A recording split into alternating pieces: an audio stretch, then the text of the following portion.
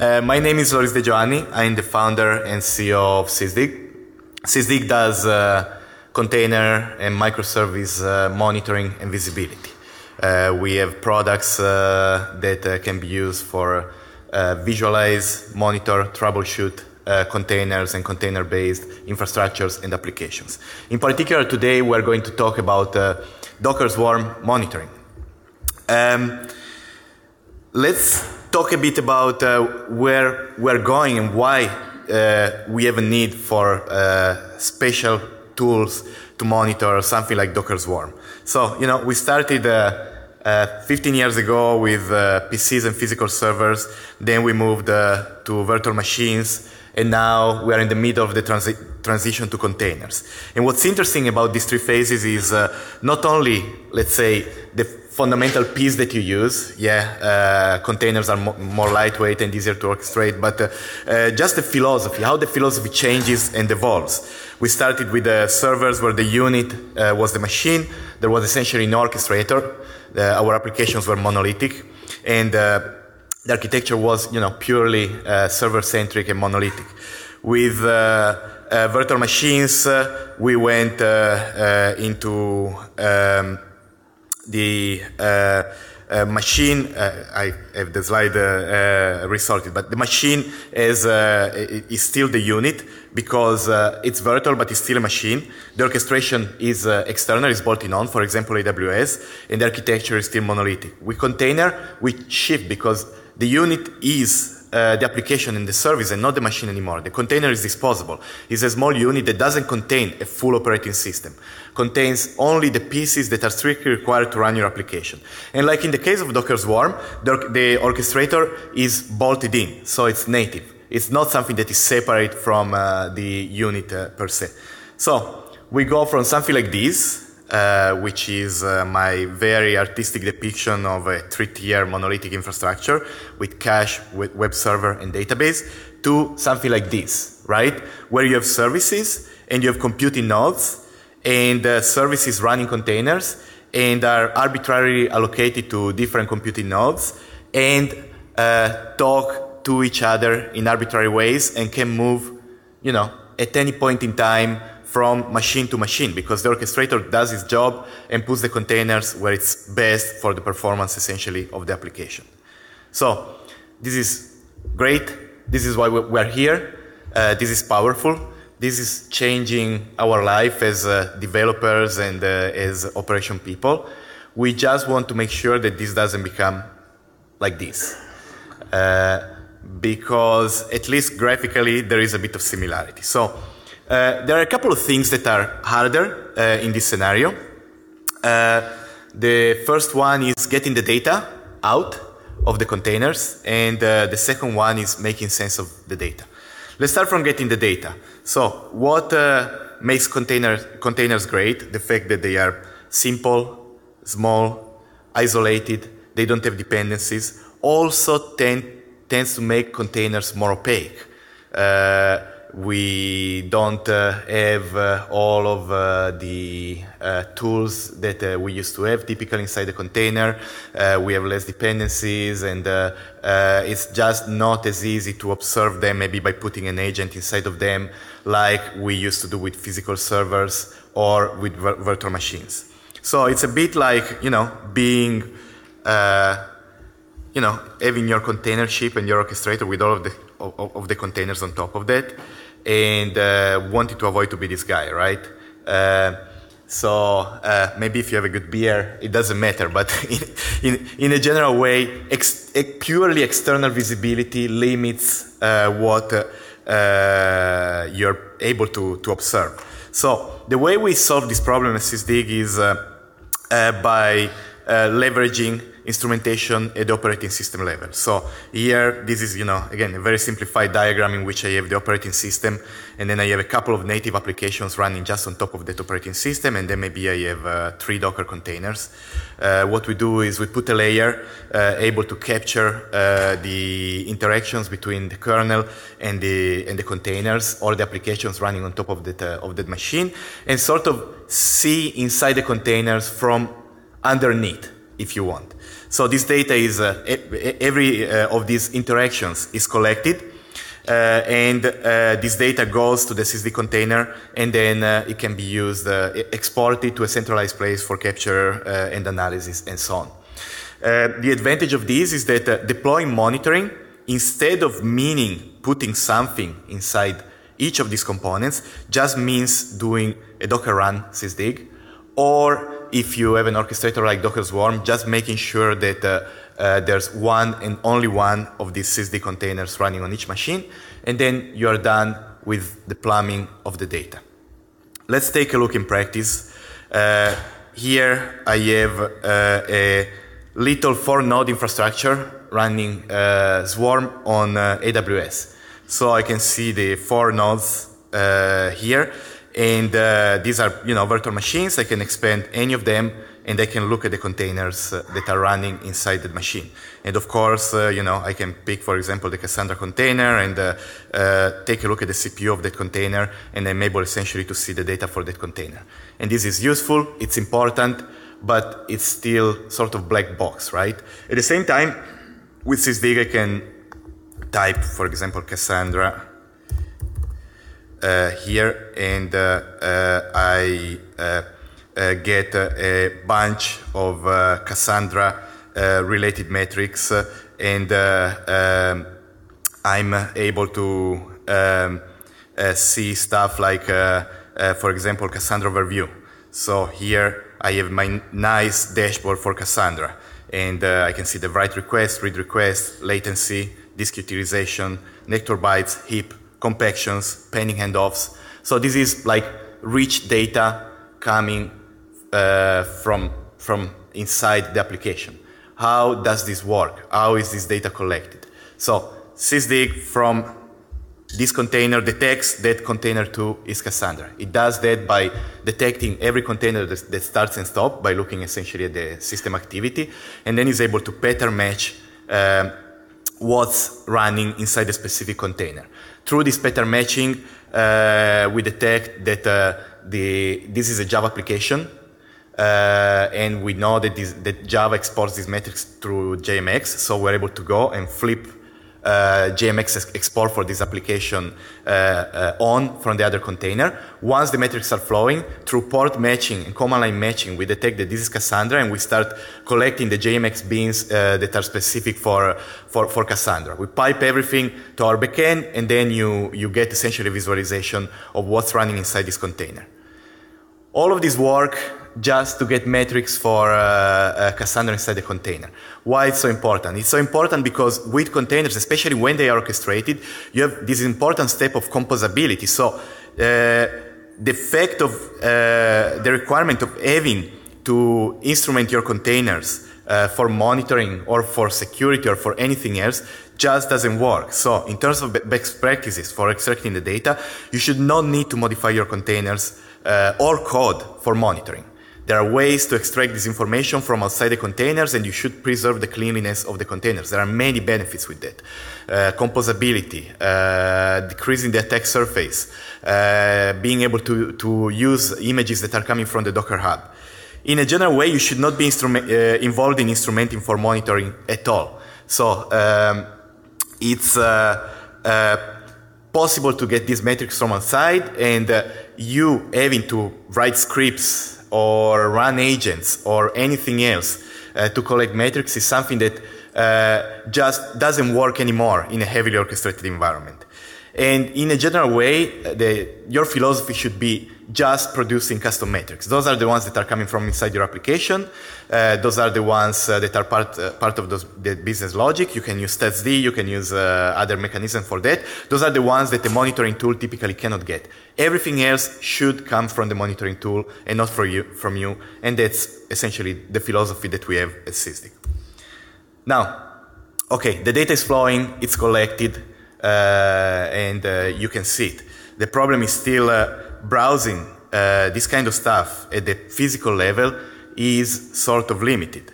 Uh, again, you know, essentially what we have here in the user interface right now, it's very similar to this, right? A bunch of nodes with containers running, running on, top of, uh, on, on top of them. Ideally, what you want to see is the metrics for one specific service, right? So for the blue service. There are multiple containers that implement it. How do you get the data that allows you to work at that level? Because getting metrics from containers that come and go, sometimes only last for seconds, and move from machine to machine, is not going to help you understand what's happening. While, uh, you know, services tend to be persistent, they tend to be the unit that you want to think about. So, uh, from that point of view, uh, what we can do is uh, go and regroup this infrastructure uh, as uh, um, for example, we have Docker Swarm uh, um, integration. What happens here is the monitoring tool, in this case Sysdig, understands Swarm, understands the Swarm API, and polls this API for information about services that are running uh, topology, dependencies, and, and, this kind of stuff. And then it's able to essentially represent the data in a way that is um, service oriented. So take a look at immediately how things essentially the services running on this cluster start popping up. You know, we we see now that we have Cassandra, that we have uh, Java client, Mongo, Redis, WordPress, uh, and so on.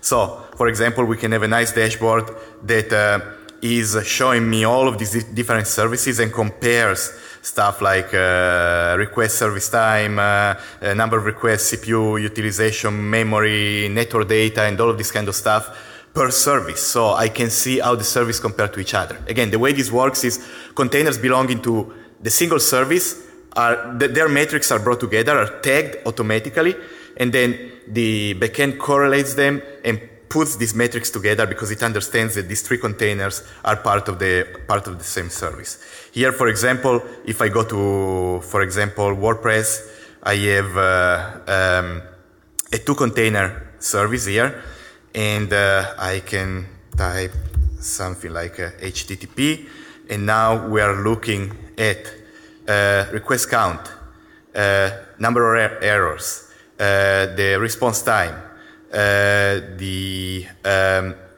top endpoints in terms of number of requests and the slowest endpoints in terms of response time. All of these is, again, captured automatically and dynamically from underneath the containers. In this case, a lot of this data is uh, uh, created by observing the network traffic and the way containers talk to each other, decoding this data so that it's possible to see, for example, which specific requests are made and measure how long they take, and then correlating, aggregating this data for multiple containers into like a, a single service that then can be uh, observed uh, in a, in a consistent way. This becomes even more uh, visible when uh, we look at topology. So one of the things that Sysdig can do by looking at the network data is um, looking at uh, um, uh, creating real-time topological representations of an infrastructure. So uh, here we're looking, for example, at, at, the physical topology of this cluster. So what we were looking before, uh, what we were looking at before as a table now it's a dependency map. This is created uh, essentially dynamically and updated every 10 seconds. And uh, I often compare this a bit to Google Maps for your infrastructure because I can go and I can, you know, zoom inside a single machine and I start seeing the Docker containers implementing this, this Swarm cluster. And then I can, you know, keep zoom, zooming and uh, even expand, you know, specific machines and see the processes that are running inside machine, each machine and how the processes talk to each other. Problem is, it's sort of messy, right? It's a bit like this. Uh, if we take this exactly the same infrastructure and we regroup it uh, in a way that is uh, uh service uh, uh, aware, so we do the same thing that we've been doing before. So change the grouping and make this swarm aware. And what happens now is the tool understands swarm services and not only us and container. Now, you know, the diagram becomes much more clear. We can see essentially the Java cli client talking to the Java application, talking to Redis and Cassandra, and we can see, you know, WordPress service uh, with a client, uh, WordPress and MariaDB in the background.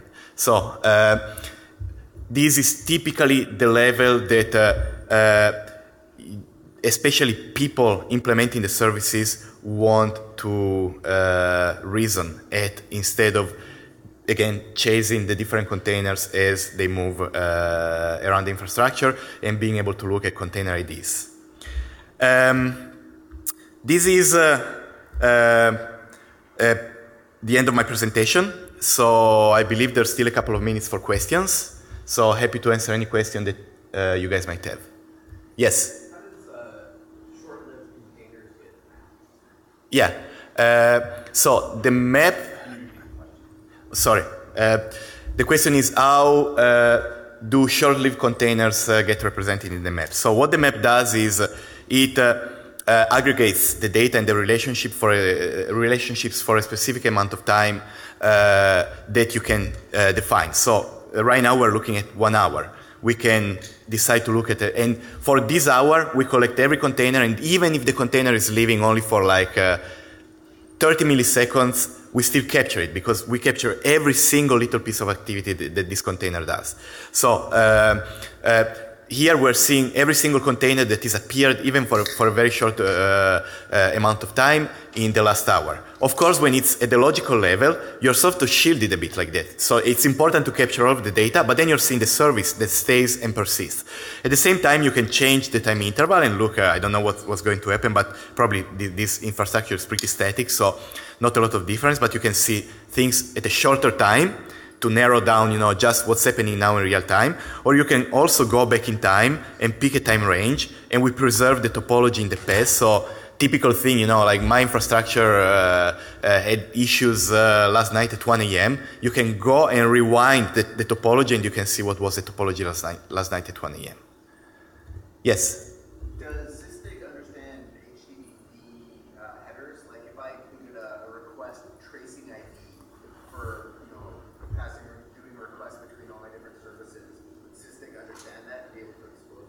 So we are working on that kind of functionality. Uh, it's currently only embedded in our open source tool. It's called SysDig Tracers, and you use it essentially exactly for this to mark requests uh, and uh, and being able to essentially uh, add your own metadata to them and being able potentially to trace them across multiple machines.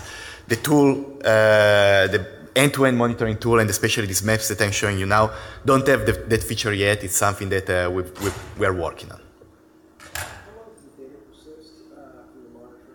So the marketing answer is forever. uh, what, what we do is what we do is we do rollups. So uh, essentially, uh, data comes at 10 second granularity for like uh, a day, and then it, it, it, goes down to like uh, minute granularity and then it goes down to you know um, uh, hour granularity and then their granularity. So you can, in practice, go back and look at your data like uh, 50 months ago because we never throw it away. But what happens is gradually you lose a bit of, of resolution in your data. One more question.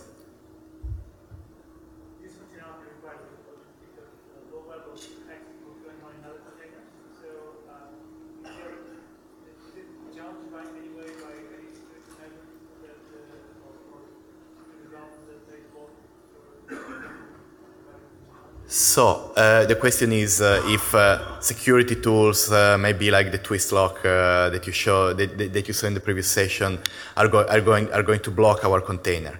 Um, our instrumentation technology is uh, and, and it's exactly the same agent is used both by open source SD, which is, let's say, a command line troubleshooting tool, open source, available on GitHub.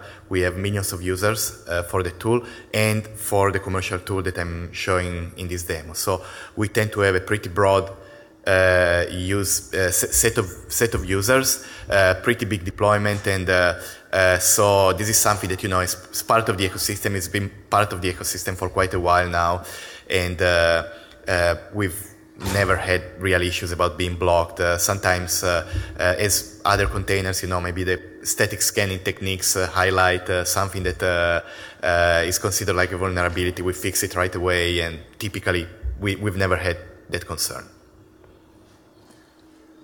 This was the last question. All right. Thank you guys very much for your time and your attention. Have a great afternoon. My name's David Fernandez. I'm with Hewlett Packard Enterprise. My name is Peyton McNally. I'm the CIO for Hudson Alpha Institute for Biotechnology. And as David said, we swear we have slides, but we're going to do this one old school and just talk it out. So thanks. So, Peyton, tell us about Hudson Alpha. Um, Hudson Alpha is a nonprofit research institute where we have 38 associate companies. These are like tenant companies, so we're kind of like an incubator, but set up before incubators were cool. And uh, and then we have a few hundred researchers that are solely focused on life sciences, so genetics and genomics. And uh, and then we also have an education component as well as a genomic medicine component where the the founder's vision of Hudson Alpha is to translate all this research into clinical care that impacts a human life. And so that's our that's our shtick. That's what we do. We're a nonprofit and um, focused on accelerating that care. And tell us what the business and or research challenges Hudson Alpha faced were. So a, a couple of years ago, Hudson Alpha was uh, was one of the first ten to to buy into uh, a new sequencing platform called the HiSeq X. Dun dun dun. And so the HiSeq X, what it actually did was it produced 20 times more data than we had ever previously done at Hudson Alpha.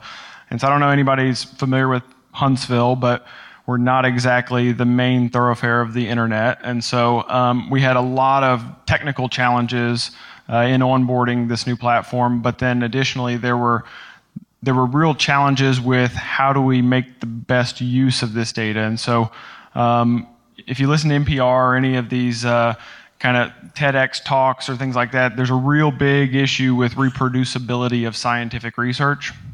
And so it's uh, it's rather interesting that in genomics there's a lot of really cool papers that get published that nobody else in another lab can actually do anything with. And so uh, we also, at the time all this research is happening, there was also an enterprise IT mission, and so we had to um, to deploy apps, websites, uh, telemedicine, telehealth, EHRs, all the, the whole nines. And so it, it, it got to the point where we kind of had to have a fundamental change in how we deploy those services. And how do containers help translate the research into medical realities at Hudson Alpha? So this was the one, guys, where I'm not going to lie, I had a really cool picture. But um, so we uh, we actually started early on with specific parts of the the genomics pipeline, and uh, and so a pipeline is kind of the the full body of work that a researcher would spend perhaps even their entire career working on is how do I take this input, how do I quality assure that that process, and how do I discern this knowledge uh, on the on the the output side of this process, which may in turn be somebody else's start step for their pipeline. It's a pipeline, just like anything else we do in tech. Um, so we started with with really the the basic elemental step of what's coming off of these machines, and we realized real quick.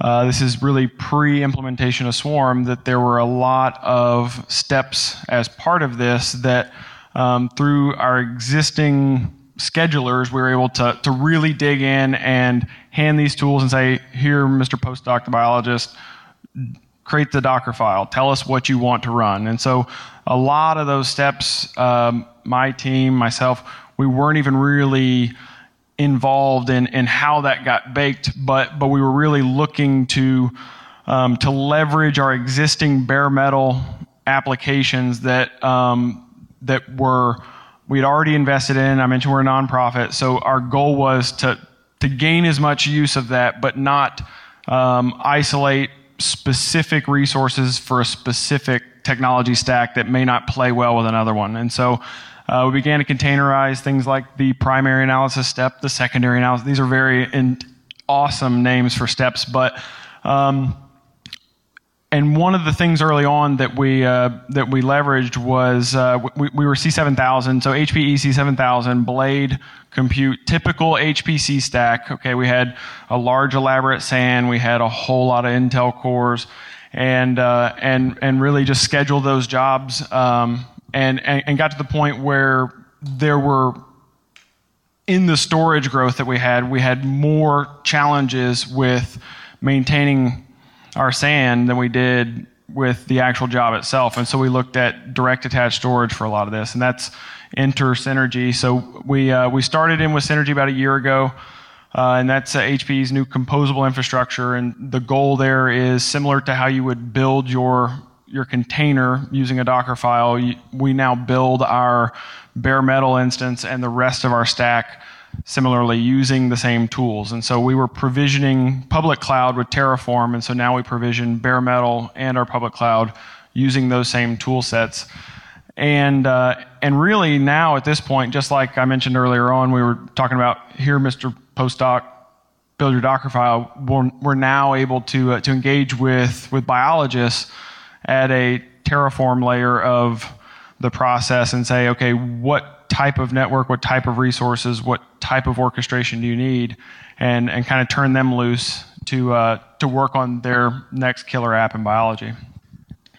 Peyton, can you describe what the future is going to look like for containers and hybrid IT at Hudson Alpha?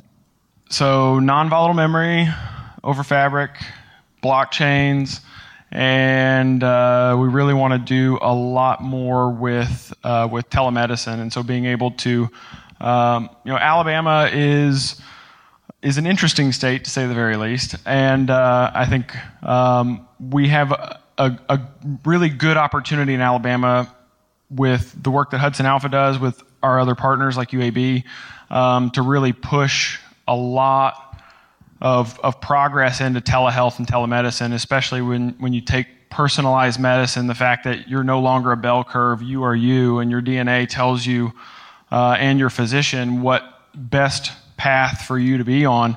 When you start to apply that in, in, in the telehealth context and, and start to orchestrate these jobs as containers and uh, and have one test that's good for the rest of your life, it starts to get really interesting, especially when, uh, when individual um, researchers somewhere are able to, to now transport that killer app out to GitHub and let you download it at your house and run your genome through it. It gets really interesting, and so I think we're uh, we're very excited about the future and um, and leveraging containers for that as well as um, further orchestration of our our bare metal jobs. So you might have other questions that we can't put on the slideshow? All right. Cool. Well, thank you.